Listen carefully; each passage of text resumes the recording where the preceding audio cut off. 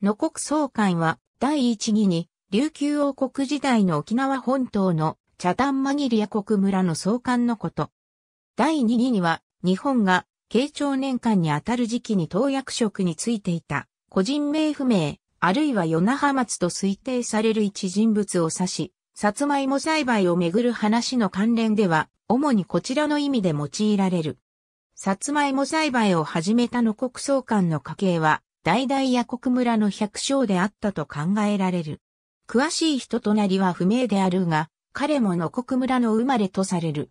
この野国総監の生命については長らく不明とされてきたが、創生成系図等で分析された結果、いくらか明らかになっている。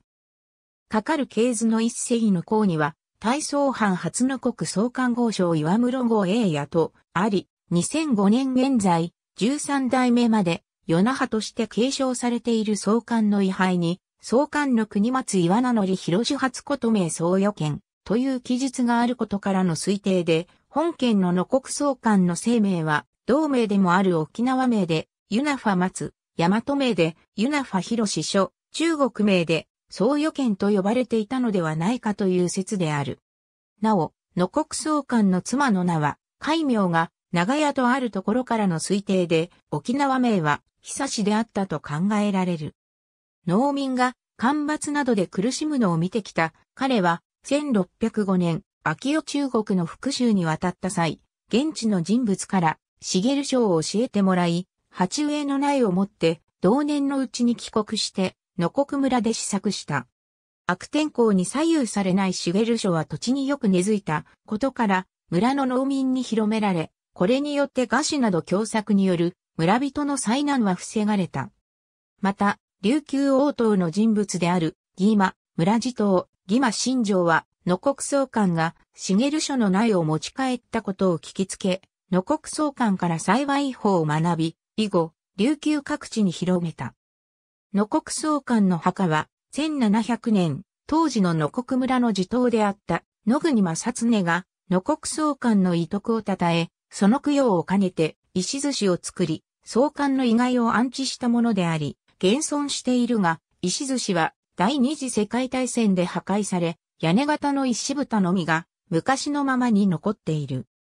この墓に安置される以前の総監の遺骨の埋葬場所とここに至る移送の経緯は一切わかっていないが、おそらくは彼の遺徳によって首里の士族に列せられた子孫たちによって首里に埋葬されていた遺骨を野国正常が移送したものと考えられる。茂書伝来から146年後の1751年には、総監の親族である六世紀の孫、非家畜島のによって、墓の東側に検証碑が建てられた。公的な検証碑が初めて建立されたのは、大きく時代が下って1936年、日本国那覇市大山のよもち神社で、野国総監は、西恩、義馬新庄らと共に、沖縄の産業発展に尽くした一大恩人として祀られた時のことである。その後、嘉手納村においては、シュゲル書、伝来350周年記念事業の一環として、野国総監宮を建立し、分骨を祀って、現在まで彼の遺徳を検証している。野国総監を称える行事としては、野国村の年中行事では、旧暦2月春の彼岸は、野国総監霊前にて行うとあり、近隣の野里村でも同様の行事が行われてきた。1922年、旧茶炭村では、毎年旧暦の8月17日の村祭りで、墓前にて祭典が行われていた。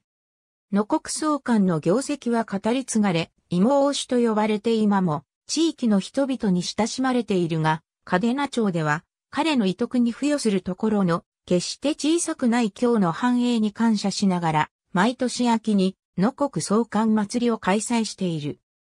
また、伝来から400年目を迎える2005年には、官所伝来400年祭と銘打って、野国総監の偉業を称える記念事業が、嘉手納町主催で取り行われ、開催直前の9月30日に開かれた記念式典では、総監の出身地にちなんで、茂書のことをの国芋と呼ぶ、の国芋宣言を行った。ありがとうございます。